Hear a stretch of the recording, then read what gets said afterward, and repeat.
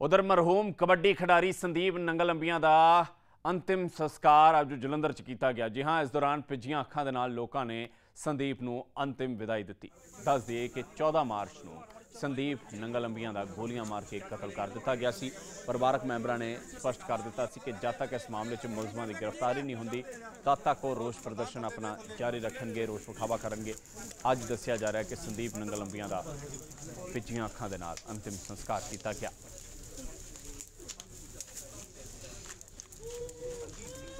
ਜਲੰਧਰ ਦਿਹਾਤੀ ਪੁਲਿਸ ਨੇ ਬੀਤੀ 14 ਮਾਰਚ ਦੀ ਸ਼ਾਮ ਨੂੰ ਨਕੋਦਰ ਦੇ ਪਿੰਡ ਮੱਲੀਆਂ ਖੁਰਦ ਦੇ ਟੂਰਨਾਮੈਂਟ ਵਿੱਚ ਕੌਮਾਂਤਰੀ ਕਬੱਡੀ ਖਿਡਾਰੀ ਸੰਦੀਪ ਨੰਗਲ ਅੰਬੀਆਂ ਦੇ ਕਤਲ ਮਾਮਲੇ ਨੂੰ ਸੁਲਝਾ ਲਿਆ ਹੈ। ਪੁਲਿਸ ਨੇ ਇਸ ਮਾਮਲੇ ਦੇ ਵਿੱਚ ਚਾਰ ਜਿਹੜੇ ਹੈ, ਸਾਜ਼ਿਸ਼ਕਰਤਾ ਉਹਨਾਂ ਨੂੰ ਗ੍ਰਿਫਤਾਰ ਕਰ ਲਿਆ, ਜਦਕਿ ਚਾਰ ਹੋਰ ਜਿਹੜੇ ਹੈ, ਉਹ ਨਾਮਜ਼ਦ ਕੀਤੇ ਗਏ ਨੇ।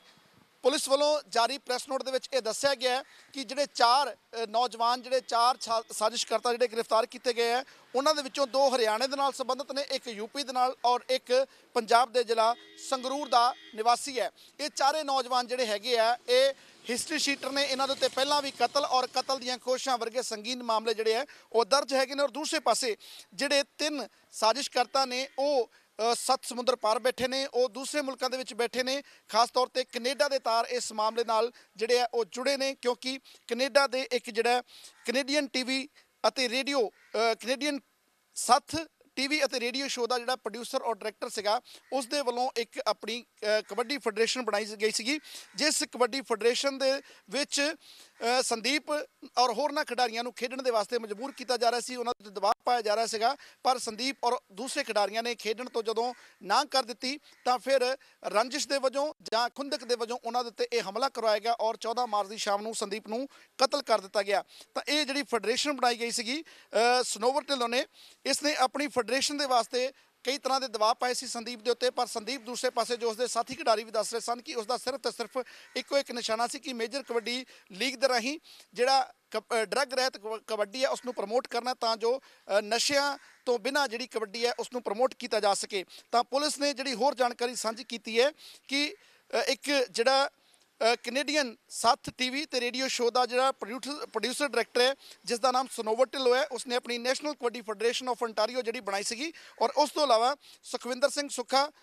ਉਰਫ ਸੁੱਖਾ ਦੁਨੇਕੇ ਜਿਹੜਾ ਕਿ ਮੋਗਾ ਦਾ ਰਹਿਣ ਵਾਲਾ ਪਿਛਲੇ ਕੁਝ ਸਾਲਾਂ ਤੋਂ ਕੈਨੇਡਾ 'ਚ ਰਹਿ ਰਿਹਾ ਔਰ ਤੀਸਰਾ ਨੌਜਵਾਨ ਜਗਜੀਤ ਸਿੰਘ ਉਰਫ ਗਾਂਧੀ ਜਿਹੜਾ ਕਿ ਡੇਲੋ ਦਾ ਵਸਨੀਕ ਹੈ ਔਰ ਇਸ ਵਕਤ ਮਲੇਸ਼ੀਆ ਦੇ ਵਿੱਚ ਰਹਿ ਰਿਹਾ। ਇਹਨਾਂ ਤਿੰਨਾਂ ਨੇ ਵੀ ਸਾਜ਼ਿਸ਼ ਰਚੀ ਸੀਗੀ ਸੰਦੀਪ ਨੂੰ ਮਾਰ ਮੁਕਾਉਣ ਦੀ ਔਰ ਜਿਹੜਾ ਇੱਕ ਸਿਮਰਨਜੀਤ ਸਿੰਘ, ਜਿਹੜਾ ਕਿ ਗੈਂਗਸਟਰ ਹੈ, ਜਿਹੜਾ ਕਿ ਯੂਪੀ ਦਾ ਰਹਿਣ ਵਾਲਾ ਹੈ, ਉਸਨੇ ਆਪਣੇ ਰਿਸ਼ਤੇਦਾਰ ਸਵਰਨ ਦੇ ਘਰ ਦੇ ਵਿੱਚ ਜਿਹੜੇ ਸ਼ੂਟਰ ਸਨ, ਜਿਨ੍ਹਾਂ ਨੇ ਅਟੈਕ ਕੀਤਾ ਸੀ, ਜਿਨ੍ਹਾਂ ਨੇ ਗੋਲੀਆਂ ਚਲਾਈਆਂ ਸਨ ਤਾਬੜਤੋੜ, ਉਹਨਾਂ ਨੂੰ ਅੰਮ੍ਰਿਤਸਰ ਦੇ ਆਪਣੇ ਰਿਸ਼ਤੇਦਾਰ ਦੇ ਘਰ ਦੇ ਵਿੱਚ ਲੁਕਣ ਦੇ ਵਾਸਤੇ ਜਗ੍ਹਾ ਪ੍ਰੋਵਾਈਡ ਕਰਾਈ ਸੀਗੀ। ਤਾਂ ਪੁਲਿਸ ਨੇ ਸਵਰਨ ਨੂੰ ਵੀ ਨਾਮਜ਼ਦ ਕੀਤਾ ਔਰ ਉਸਦੇ ਘਰ ਤੋਂ 18 ਜਿੰਦਾ ਰੌਦ ਔਰ ਇੱਕ 12 ਬੋਰ ਜਿਹੜੀ ਰਾਈਫਲ ਹੈ, ਉਹ ਵੀ ਬਰਾਮਦ ਕੀਤੀ ਹੈ। ਤਾਂ ਪੁਲਿਸ ਨੇ ਇਹ ਵੀ ਦਾਅਵਾ ਕੀਤਾ ਕਿ ਇਹ ਜਿਹੜੇ ਚਾਰ ਸ਼ੂਟਰ ਸਨ, ਜਿਹੜੇ ਕਿ ਵੀਡੀਓ ਦੇ ਵਿੱਚ ਵੀ ਨਜ਼ਰ ਆਏ ਸਨ, ਇੱਕ ਚਿੱਟੇ ਰੰਗ ਦੀ ਸਵਿਫਟ ਕਾਰ ਵਿੱਚ ਸਵਾਰ ਹੋ ਕੇ ਆਏ ਸਨ, ਜਿਨ੍ਹਾਂ ਨੇ ਤਾਬੜਤੋੜ ਗੋਲੀਆਂ ਚਲਾਈਆਂ ਸਨ। ਉਹਨਾਂ ਚਾਰ ਸ਼ੂਟਰਾਂ ਦੀ ਸਨਾਖਤ ਵੀ ਹੋ ਚੁੱਕੀ ਹੈ। ਉਹ ਵੀ ਜਲਦ ਪੁਲਿਸ ਦੇ ਵੱਲੋਂ ਫੜ ਲਏ ਜਾਣ ਦਾ ਦਾਅਵਾ ਕੀਤਾ ਜਾ ਰਿਹਾ ਤਾਂ ਦੂਸਰੇ ਪਾਸੇ ਸੰਦੀਪ ਨੰਗਲ ਅੰਬੀਆਂ ਦਾ ਅੱਜ ਸਵੇਰੇ ਜਿਹੜਾ ਹੈ, ਪਹਿਲਾਂ ਪੋਸਟਮਾਰਟਮ ਹੋਇਆ। ਨਕੋਦਰ ਦੇ ਸਿਵਲ ਹਸਪੀਟਲ ਦੇ ਵਿੱਚ ਡਾਕਟਰਾਂ ਦੇ ਦੱਸਣ ਦੇ ਮੁਤਾਬਕ ਕਈ ਘੰਟੇ ਉਸ ਦਾ ਪੋਸਟਮਾਰਟਮ ਚੱਲਿਆ।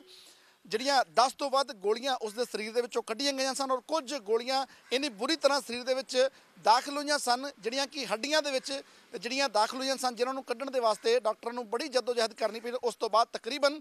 5 ਵਜੇ ਦੇ ਆਸ-ਪਾਸ ਸੰਦੀਪ ਦਾ ਸੰਸਕਾਰ ਕਰ ਦਿੱਤਾ ਗਿਆ। 14 ਮਾਰਚ ਦੀ ਸ਼ਾਮ ਨੂੰ ਸੰਦੀਪ ਦਾ ਕਤਲ ਹੋਇਆ ਸੀ ਔਰ ਅੱਜ ਯਾਨੀ ਕਿ 19 ਮਾਰਚ ਨੂੰ ਪੰਜ ਦਿਨਾਂ ਦੇ ਬਾਅਦ ਸੰਦੀਪ ਦੀਆਂ ਆਖਰੀ ਰਸਮਾਂ ਉਸਦੇ ਪਰਿਵਾਰ ਦੇ ਵੱਲੋਂ ਕੀਤੀਆਂ ਗਈਆਂ ਨੇ, ਕਿਉਂਕਿ ਪਰਿਵਾਰ ਵਾਰ-ਵਾਰ ਇਹ ਆਖ ਰਿਹਾ ਸੀ ਕਿ ਜਦ ਤੱਕ ਪੁਲਿਸ ਦੇ ਵੱਲੋਂ ਕੋਈ ਕਾਰਵਾਈ ਨਹੀਂ ਕੀਤੀ ਜਾਂਦੀ, ਕੋਈ ਦੋਸ਼ੀ ਨਹੀਂ ਫੜੇ ਜਾਂਦੇ, ਤਦ ਤੱਕ ਨਾ ਤਾਂ ਅਸੀਂ ਪੋਸਟਮਾਰਟਮ ਕਰਵਾਵਾਂਗੇ ਔਰ ਨਾ ਹੀ ਅਸੀਂ ਅੰਤਮ ਰਸਮਾਂ ਨਿਭਾਵਾਂਗੇ। ਤਾਂ ਪੁਲਿਸ ਦੇ ਵੱਲੋਂ ਹੁਣ ਇਹ ਜਿਹੜਾ ਇੰਟਰਨੈਸ਼ਨਲ ਤਰੀਕੇ ਦੇ ਨਾਲ, ਜਿਸ ਤਰੀਕੇ ਨਾਲ ਇਹ ਸਾਜ਼ਿਸ਼ ਰਚੀ ਗਈ ਸੀ ਉਸ ਦਾ ਪਰਦਾਫਾਸ਼ ਕੀਤਾ ਗਿਆ। ਜਿਹੜੇ ਚਾਰ ਸ਼ੂਟਰ ਹੈ, ਉਹ ਕਰੋ ਤੱਕ ਫੜੇ ਜਾਂਦੇ ਨੇ ਔਰ ਉਹ ਲੋਕ ਜਿਹੜੇ ਦੂਸਰੇ ਮੁਲਕ ਦੇ ਵਿੱਚ ਬੈਠ ਕੇ ਜਿਨ੍ਹਾਂ ਨੇ ਸਾਜ਼ਿਸ਼ ਰਚੀ ਹੈ, ਉਹ ਕਰੋ ਤੱਕ ਇੱਧਰ ਲਿਆਂਦੇ ਜਾਂਦੇ ਨੇ ਕਰੋ ਤੱਕ ਉਹਨਾਂ ਦੇ ਉੱਤੇ ਕਾਰਵਾਈ ਕੀਤੀ ਜਾਂਦੀ ਹੈ, ਇਹ ਵੇਖਣਾ ਹੁਣ ਬਾਕੀ ਹੈ। ਪਰ ਇੱਕ ਤਰੀਕੇ ਨਾਲ ਪਰਿਵਾਰ ਨੇ ਇੱਕ ਪਾਸਿਓਂ ਤਾਂ ਜ਼ਰੂਰ ਥੋੜਾ ਰਾਹਤ ਦਾ ਸਾਹ ਲਿਆ ਜਾਂ ਸੁੱਖ ਦਾ ਸਾਹ ਜ਼ਰੂਰ ਲੈ ਕਿ ਉਹਨਾਂ ਦੇ ਪੁੱਤਰ ਦੇ ਕਾਤਲ ਜਿਹੜੇ ਆ ਉਹ ਹੁਣ ਪੁਲਿਸ ਦੀ ਗ੍ਰਿਫਤ ਵਿੱਚ ਹੈਗੇ ਨੇ। ਪੁਲਿਸ ਨੇ ਹੁਣ ਕਾਰਵਾਈ ਉਸ ਪਾਸੇ ਸ਼ੁਰੂ ਕਰ ਦਿੱਤੀ ਹੈ, ਪਰ ਇਸ ਗੱਲ ਤੋਂ ਇਨਕਾਰ ਨਹੀਂ ਕੀਤਾ ਜਾ ਸਕਦਾ ਕਿ ਪਰਿਵਾਰ ਔਰ ਕਬੱਡੀ ਜਗਤ ਨੂੰ ਜਿਹੜਾ ਘਾਟਾ ਪਿਆ, ਉਹ ਕਦੇ ਵੀ ਪੂਰਾ ਹੋਣ ਵਾਲਾ ਨਹੀਂ ਹੈ। ਕੈਮਰਾ ਪਰਸਨ ਜਗਰੂਪ ਦੇ ਨਾਲ ਪਤਰਾ ਸਮਸੀ ਪੀਟੀਸੀ ਨਿਊਜ਼, ਜਲੰਧਰ।